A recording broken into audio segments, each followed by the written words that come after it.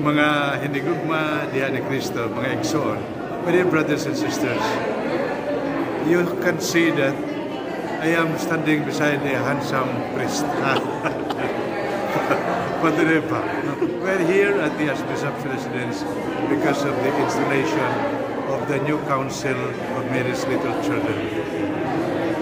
Alam ko po na natutuwa kayo and you profit from the many sharings of Padre. I know him to be a prayerful priest. And of course, his message is a message of the mercy of God, the love of God, and how we should love each other.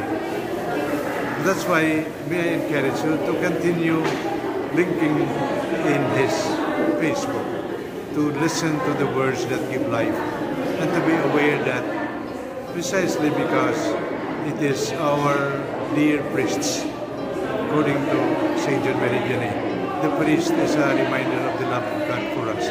So in Father Eva, di lamang iyang kagwapo, no?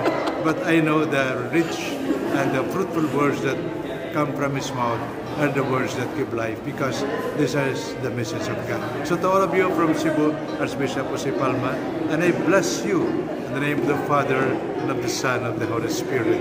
Amen. Thank you.